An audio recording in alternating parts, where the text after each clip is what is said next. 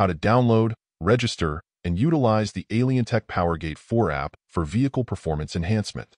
Hey everyone, welcome back to our channel, where we explore the world of automobile diagnostic tools and programmers.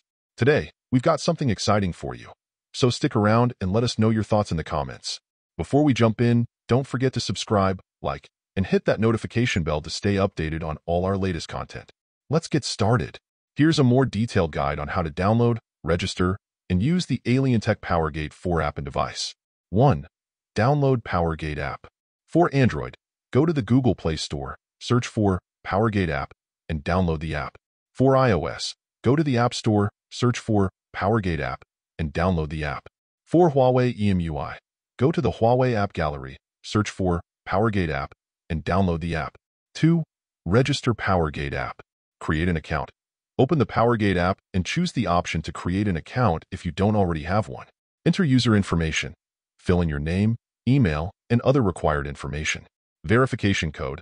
After entering your email, a verification code will be sent to your email address. Enter verification code. Check your email and enter the code into the app to verify your account. Set password. Choose a strong password for your account. Complete account setup. Follow any remaining prompts to complete your account setup. Login. Once your account is set up, log in using your new credentials. 3. Read ID with PowerGate 4. Connect PowerGate 4. Connect the PowerGate 4 device to your vehicle via the OBD socket. Open the app, launch the PowerGate app and log in with your AlienTech ID. Connect with Bluetooth. Establish a Bluetooth connection between the app and the PowerGate 4 device. The blue indicator on the device will turn on when the connection is successful.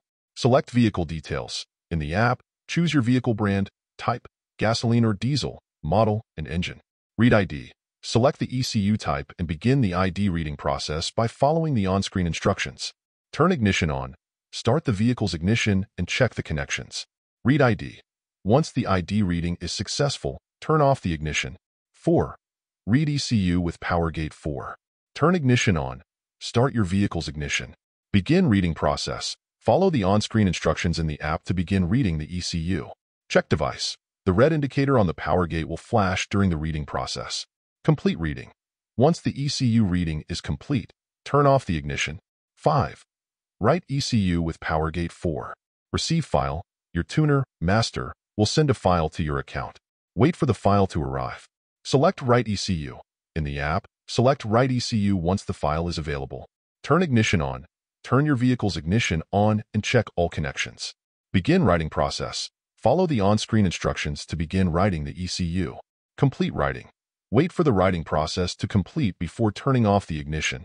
Make sure to follow all safety and on-screen instructions during these processes to ensure proper communication between the app, the PowerGate 4 device, and your vehicle.